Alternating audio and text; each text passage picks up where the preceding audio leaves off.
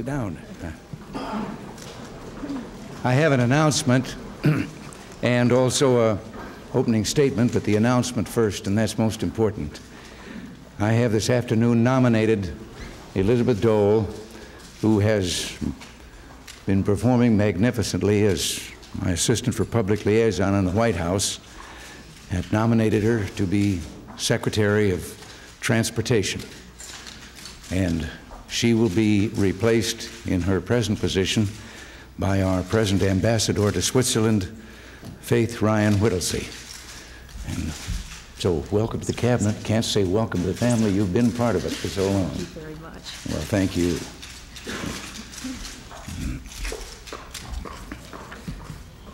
And now the opening statement. I know many of you have questions about the budget and related matters. And since I'm in the midst of making the final decisions, I'd like to address most of those questions when I present the State of the Union and the budget later this month. But let me make a few points now that might anticipate some questions. Clearly, we're facing very big deficits unless we take action. And we will take action because de the deficits are unacceptably large in the out years. The federal budget must not become a roadblock on the path to long-term economic recovery. I'm consulting now with a wide variety of people, and I look forward to working with Congress this year on the issues. The choices we face as a people are difficult, but in the long run, I believe the budget should have three fundamental objectives. It must meet our basic human and defense needs. It must treat the people fairly, must move toward balance, helping lower the interest rates and providing a basis for sustained economic growth. I am confident that working together we can meet these goals. And now, as I say, since I'll be involved for at least another week in intensive meetings and decisions, I want to hold off on any detailed discussion of the budget as well as major pronouncements on the various options before us until later this month. And Helen? Mr. President, uh, you may not like this question, but philosophically, many of your own party leaders are calling for cuts in military spending, and they have described the deficits as terrifying. They also say that you're in concrete on the subject. My question to you is how high does unemployment have to go, and how much does the economy have to deteriorate before you are willing to accept cuts in the defense uh, budget? Well, first of all, Helen, I don't think the economy is deteriorating further because all of the signs for seven of the last eight months, the group of economic signs uh, regarding that are taken as indicators uh, have been up. Uh, retail sales are up 6% over last year. Uh, house, home sales are up 66%, I mean, building of houses is up 66% over last year. Sale of new homes is up 47% over last year. We have brought the interest rates down to the point that inflation is, as you know, the lowest it's been in 10 years, 4.5%. And I think that the, all of the indicators are there to indicate that the economy is uh, getting better, not getting worse. Now, as for employment, that, of course, is the most grievous problem and the one that's always the last uh, to get well. And yet, for the last several weeks, the numbers of people who are applying for unemployment insurance are fewer than they have been, but also greater numbers than those applying are at the same time each week leaving unemployment. Now, admittedly, some of those may leave because they've come to the end of their payments, but also a great many of them are leaving because they found employment. Uh, there may be some fluctuations uh, in the tenths of percentage points uh, in the present rate, but I believe that we're on the road to the kind of recovery we've been talking about. Uh, on, on defense spending, increases in military spending. Well, you're, again, you're trying to get me into the details that I've said. There are no decisions that have been made. I will look at everything. But let me also say something about the concern on the defense spending. Uh, I don't question the fact that the people are concerned because they have been receiving through much of the media a constant drumbeat that somehow there is a needless extravagance and that we're uh, overboard on this particular subject. On the chart, you will find that in constant dollars, the defense budget is just about the same as it's been all the way back to 1962. Uh, you will also find that as a percentage of gross national product, it is smaller than it was in the Ken Eisenhower and Kennedy years. We repeatedly see the figure over a five-year period of a trillion and a half or a trillion point six. Well, we're still spending more than $2 trillion in that five years on the social programs.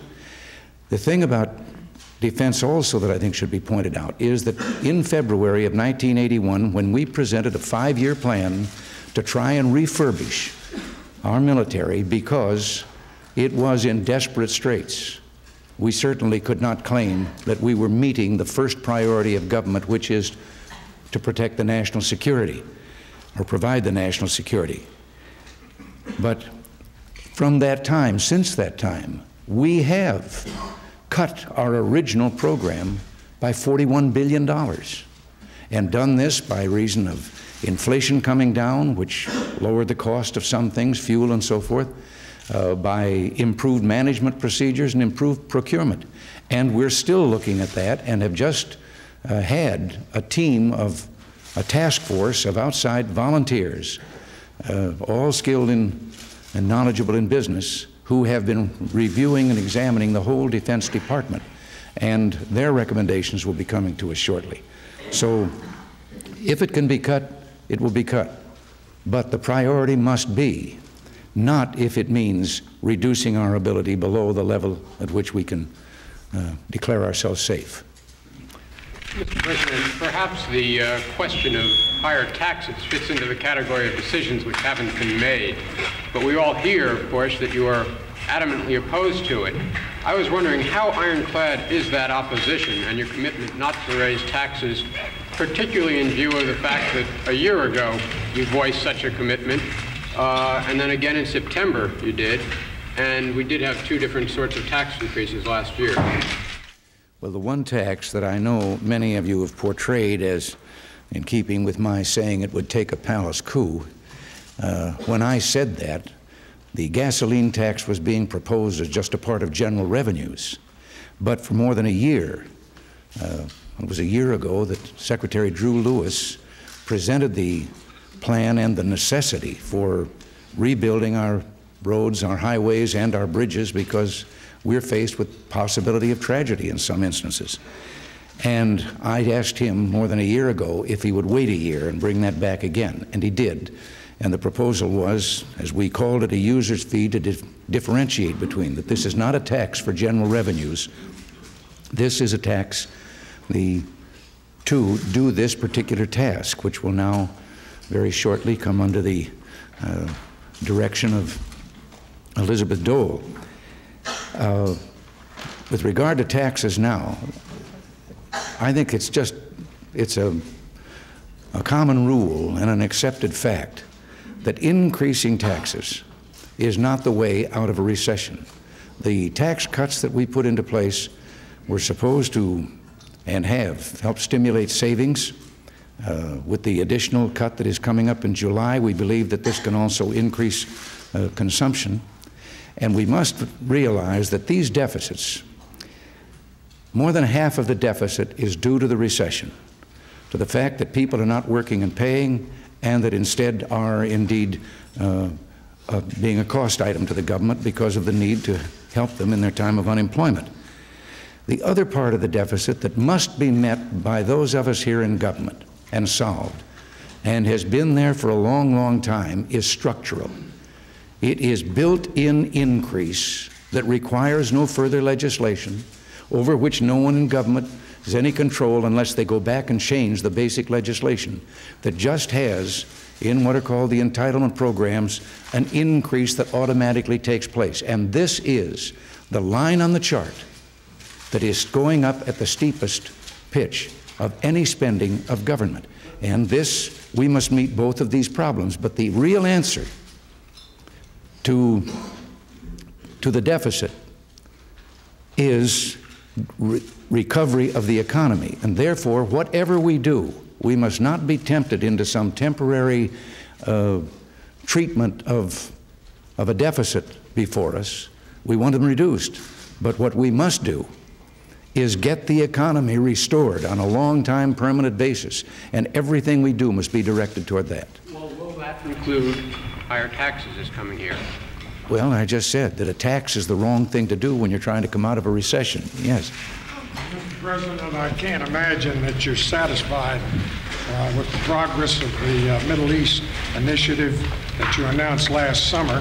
The Israelis are still in Lebanon, Syrians are still in Lebanon, the fighting is still going on in Tripoli, and I'd like to know what you are doing to speed things up, especially at the State Department. Well, we're calling back uh, Mr. Habib from his vacation. He's going to join Ambassador uh, Draper. Ambassador Habib will be there now. Uh, Jerry, it's not, uh, it is not unexpected to us.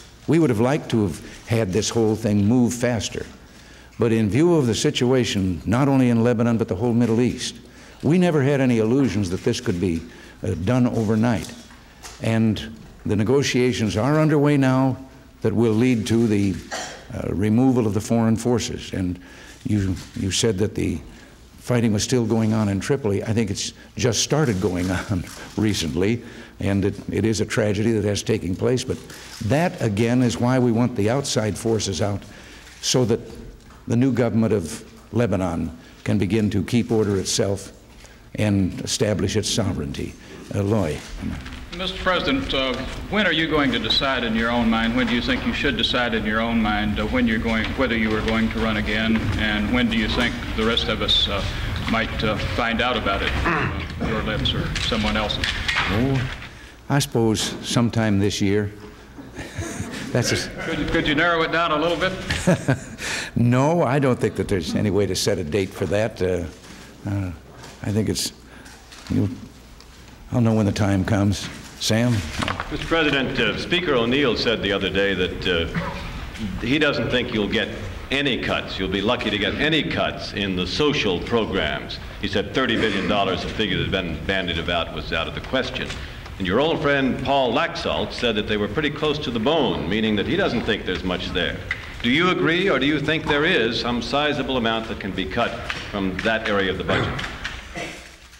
Well, I heard, I heard uh, on the tube uh, the speaker say that, and I thought to myself, I assume that from now on, he will have nothing to say about us being responsible for the deficit since he has made it plain that he will refuse to approve any uh, reductions in spending. Now, uh, if you've got a deficit, you want to cut it down, obviously, you've got to spend less. And um, I hope that he'll rethink his position on that. I'm sure there are others that uh, don't feel the same way. Sir, he, he wasn't apparently talking about any reduction in spending. He was talking about in the social programs, the controllable social programs. Well, again, you would be getting me into the details that I'm not prepared to talk about now, because no decisions have been made. Nothing has been closed. Ralph? Mr. President, there have been a number of approaches uh, to the West recently by the Soviet Union. Uh, today, the Warsaw Pact proposed uh, a non-aggression pact with NATO. And two weeks ago, as you know, Mr. An- Andropov uh, raised the idea of a summit with you. What's your reaction to these new developments? Well, this is something I think to, to be certainly to be considered if that's what he is proposing is a non-aggression pact. Um, but um, with regard in regard to a summit, uh, uh, I am in principle in favor of that. Uh, I proposed uh, meeting Mr. Brezhnev in New York at the time of the United Nations uh, disarmament conference, uh, believing that he would be there. And then we know now, I'm sure, why he couldn't make that trip, and so we didn't. But I think that a summit is something requires some planning. I don't think you just say, let's get together, sit around a table, and then say, well, what do we talk about? I think you have to plan and you have to know that and believe that you can accomplish something. And uh, when that, uh, when we can be sure of that, uh, no, I would, uh, I would welcome a summit, just as I welcomed his, uh, uh, his suggestion about um, uh, continuing the, uh, the uh, talks on reducing of arms. Mr. President, what about today's proposal for a non-aggression pact between NATO and the Warsaw Pact? Well, as I say, I think this is something that's just happened, and this is something that would require consultation with all of our allies in NATO. No, Mr. President, a couple of weeks ago, you made a public appeal to American businessmen for each of them to hire one unemployed person. Can you tell us what reaction you have gotten from them to that so far?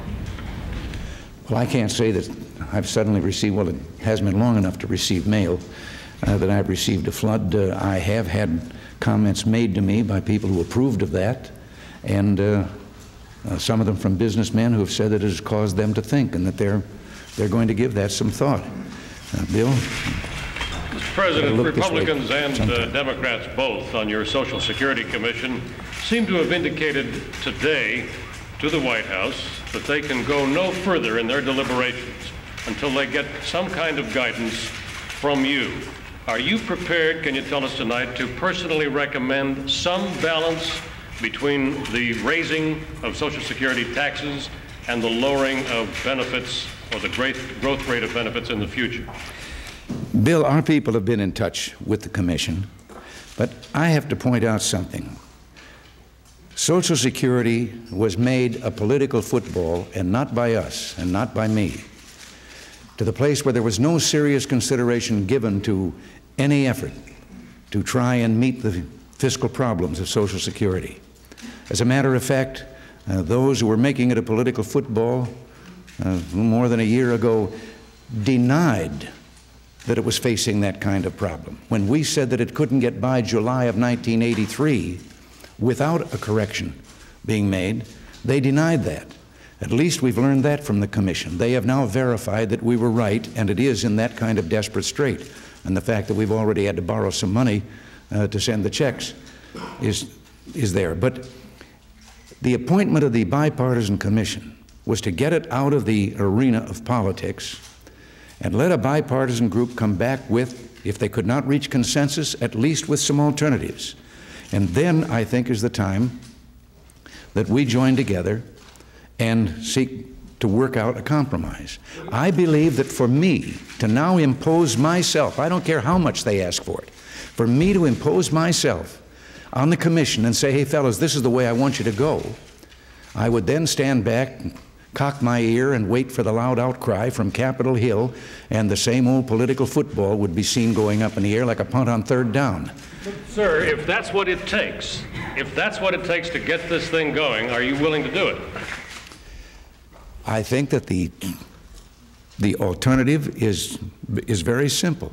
If they cannot come to a conclusion, then let them submit to us the things that, that they have proposed and where there are other differences between them, and then it will be up to us. I do know that Chairman Rostenkowski of Ways and Means has uh, made it known to me that he's going to begin hearings and he is ready to cooperate with us and knows that we must have a solution. President, there have been many allegations that the Bulgarian intelligence service was behind the attempt to assassinate the Pope and that the Soviet intelligence service, the KGB, may have ordered the whole thing. What do you believe? Do you believe the Russians and the Bulgarians were behind it? I know that the Italians are investigating, and in view of their procedures and their handling of the General Dozier case, I have uh, great confidence in their abilities. But as long as they're investigating, I don't think it would be proper for me to make a comment on this because I would have no information except the same things that all of us know about this. If it turned out that the Bulgarians and the Russians were behind it, what impact would that have on Soviet American relations? Well, I think that it, uh, it certainly would have an effect. I think it would have an effect worldwide. And uh, I'd meet that problem when we got to it. But until we do, uh, I'll, well, Bob Thompson? President, as you know, concern has arisen in the financial community over the large debts accumulated by some developing nations. I believe 300 billion in uh, Latin America alone. Do you see any danger to the banking system as a result of these large debts? And what steps is your administration taking to deal with this problem? Well, of course, there's there's a risk. I think it is a it's a it's a touchy financial situation worldwide, just as this recession is worldwide. We have been taking a number of steps uh, with regard to the international uh, monetary funds that are available for bailouts and so forth, increased uh, the contributions to those. We have taken unilateral action with uh, some of our neighbors, as you know, to uh, tide them over and help, and a number of the countries, as a result, are engaging in austerity programs. Uh, I'm inclined to believe that that we're going to to um, uh, come through this uh, all right. Uh, it, uh, if there was widespread default, there would, of course, be some very severe financial problems. Nancy? No, Nancy. President, during the lame duck session of Congress, the House and Senate each individually approved the jobs program. They subsequently withdrew them at your request and your threatened veto. Yet at the same time, they asked you to include a jobs program in your budget. Will you do so in your budget? Will you offer any kind of a detailed job creating program? Well, we think that we've done several things along that line, and then I would answer as to why the threat of a veto for the customary job type of program. First of all, we have a billion dollar program that's going to train a million people a year, and part of our unemployment, just like the deficit, is structural. There are jobs that people have been laid off from that will not exist ever again. There is a structural change in our, in our workforce that is going on. And again, you've heard me say it before, but on the weekend again, I was looking at some of the help wanted ads, and the ads are becoming really desperate in companies that are advertising for people with certain skills, which indicates that the people, the workers aren't out there with those skills. That's one. We have twice extended the unemployment insurance payments to help. We have uh, passed, and I have signed the, um, uh, the trade export bill which we think is going to increase the number of businesses in this country that are going to get into the export field, and uh, each billion dollars of export makes about 40,000 jobs. We also, I think, while it was not for jobs, the program was really designed to meet an emergency in our transportation system. That is also going to provide uh, 300 to 350,000 jobs. But let me point out that the housing subsidy bill that I vetoed last summer vetoed it because by that, pro that program had it been signed would probably just begin now or in the near future uh, to be operative. But suddenly, in this same period of time, by depending on the market forces, housing starts are up 66%. General construction is also up. The trouble with those so called job bills, one of them that was talked of in the Congress and that I refused and said I, I wouldn't sign, wasn't slated to go into operation until 1985. That's a long time to wait for some jobs. Most of them have the fault that they create um, maybe some employment over here in the public sector, but no one ever turns around to see what the spending over here did to create some unemployment over here in a different section. So I just don't think it's the answer. I think that most job bills come down to being pork barrel. Uh, yeah. Mr. President, do you share the view of elected officials in Miami that the rioting there over the holidays was brought on as much by joblessness and economic hardship as by racial tensions? And if you don't share that view, do you see any danger in people with their backs up against the wall in this recession venting their frustration in acts of crime and violence? I would hate to see that happen, and it certainly would be speak a difference in the character of our people, because in the Great Depression, nothing like that ever took place when the situation was much worse and there was no unemployment insurance and there was no, for a time, uh, uh, not even any welfare programs of any kind to help out. I think, though, that when responsible leaders, supposedly, publicly voice their opinion that this is going to happen, uh, they're encouraging it. And I think they ought to think again before they open their mouths. Yes, Andrea. Mr. President, without getting into any details, which I know you don't want to get into, do you agree with Senator Laxalt that there are ways to. Remember, uh, we don't have the military industrial complex that we once had when President Eisenhower spoke about it. Uh, assembly lines had to be put together and started up again uh, to meet the demand for the weapon systems. Now, you can't say to someone who has gone into business purely for to provide us with what we've ordered. You can't suddenly say to him, "Well, now, everybody go home and wait a while. We're going to, we're not going to uh, take these things." If there can be a stretch out that does not shut down your, your part of your industry, but again, in defense, the biggest portion of the spending is not weapon systems. 75% of the defense budget is payroll for the troops, readiness, and maintenance. And only a fourth of the budget has to do with, with weapon systems. Do you think a stretch out is possible, or perhaps you prefer the freeze ideas on both defense and non-defense that are now being proposed? Here, I thought I explained it all at the very beginning, and you keep on asking those questions. All of those things we will, we will look at. Al? Mr. President, return to Social Security. The chairman of your commission, Mr. Greenspan, says that after meeting with your aides and with people on the Hill, that there is a consensus that the solution revolves around a speeding up of payroll taxes and slowing down of future benefit growth. Does that mean that the White House has indicated is willing to support some kind of payroll tax speed up as part of an overall package? We're going to look at all the things that they present to us.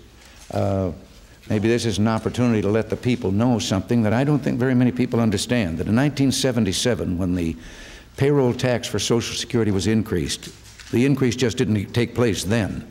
It goes on all the way to 1990.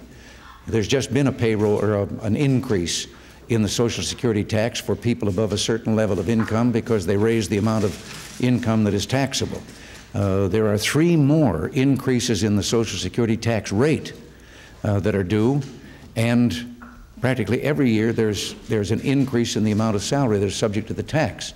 Now, all of these things I know from our own people having had contact with the Commission are things that they're looking at. But I have to point out there is a limit with regard to how far you can go on the tax. And the limit is caused by the fact that a big proportion of our working people today are paying a greater tax in Social Security than they are in the income tax. But does Mr. Greenspan's comments indicate that as part of an overall package, you might be willing to accept some form of, of payroll tax speed-up? As I've said, we will look at that. The other thing I want to ensure, lest there be some misunderstanding, the one thing that we would not consider, and I don't think the Commission is suggesting this, those people presently dependent on Social Security are going to get their checks, and their checks are not going to be reduced below what they're presently getting. I think those people have been scared enough by the demagoguery that they've heard uh, for political purposes throughout this last election year and even before. And it, I want to reassure them no plan is going to reduce their checks or take those checks away from them. You know? Yes, Mr. President. Um, I, I thought I'd pointed to him. Thank you very much. Uh, Mr. Sarah, I'll get you next. Each year, picking up on something you said earlier, each year this government pays out millions of dollars to workers who lost their jobs or to firms that lost part of their markets due to foreign competition. Now, in light of the prospects for future $100 billion plus federal deficits and the fact that many economists have said that uh, industries like steel, auto, and textiles must undergo permanent and basic restructuring to survive, doesn't it make sense for this administration to drop the Trade Adjustment Assistance Program and instead use these funds to retrain workers for new jobs, jobs that will exist in the future? Well, we are going to, we do have, as I say, a program to train, and I think that there's going to have to be more of that. I will agree, because I think in this restructuring of our workforce, we're going to find that there are industries that have traditionally been at a certain level in our country, and we're going to find that uh, we have switched to other lines of industry, to service uh, types of industry, rather than being a, a smokestack industry type. Uh, things of this kind, those changes are are being made and are taking place all the time. We're going to have to prepare for them. Sarah? Yes, sir. Uh, would you look into this, please? Lisa.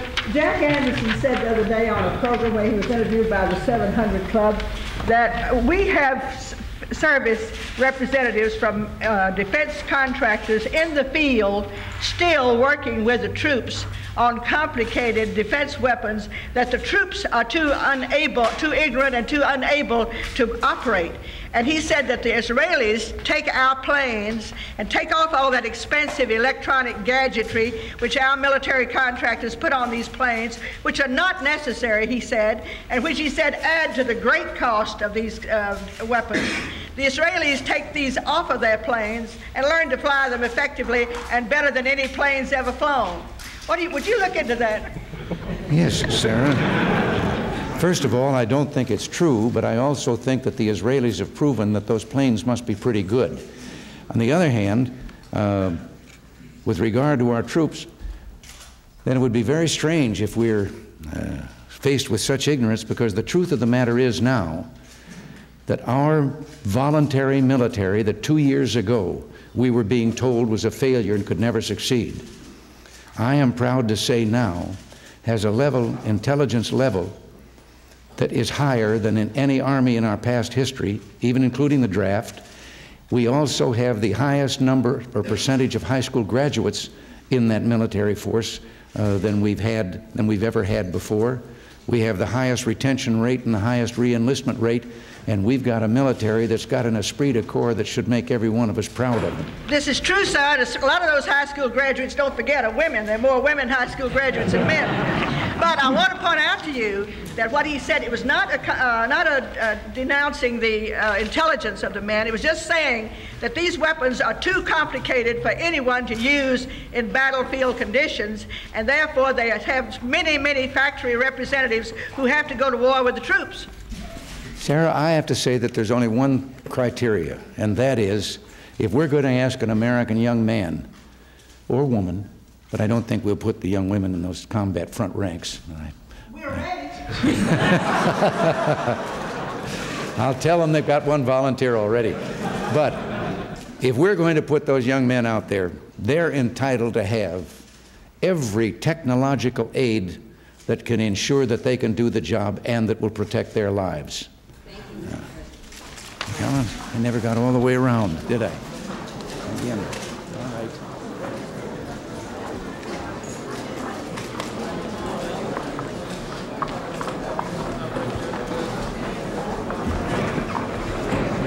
These are things that What was. did you, what have for us that we didn't ask you? You can tell us that. Well, I was going to correct you on a lot of things that you've been saying lately that aren't true. The Russians say our talks are stalemated in Geneva, and it's your fault. How do you answer that, sir? My regrets. What? The Russians no, they're not. They know better than that. As a matter of fact, General Rowny believes that within a year we've got a possibility of having an agreement on START. You sure sound Are like you you- listening? Another I press can't conference answer, soon. I can't answer questions We'll be here. again I'll be cheating on the Excuse rest who can't hear. Go ahead and cheat. But to- today, Sam, when you told me to be here at 8 o'clock, I should have said, if I wasn't here, start without me. All right. What do you think about the ERA reintroduction, Mr. President? Well, I'm Going to support it, become a real pragmatist. What? You're going to become a real pragmatist and support the ERA, aren't you? Well, I'll tell you, I think that we've been doing something that's got far more meat to it than the ERA. Can, can The Phil program. Gramm help you as much as, as a Republican as he did as a Democrat? Who? Phil Gramm, Congressman Gramm, can he help you as much as a Republican as he did as a Yes, Democrat? that's another question somebody should have asked Are me you too. I think it's, I think it's disgraceful. Are you- Disgraceful. The man who put country before party is then thrown out of the party. Are you considering the freeze seriously? The freeze on the on the budget? Are you considering that seriously? I can't answer those questions. You support Radio Marti? You support Radio Marti? about the mortgage foreclosures. What? Do you have any plans about helping with mortgage foreclosures for cars and homes and Somebody leading interference.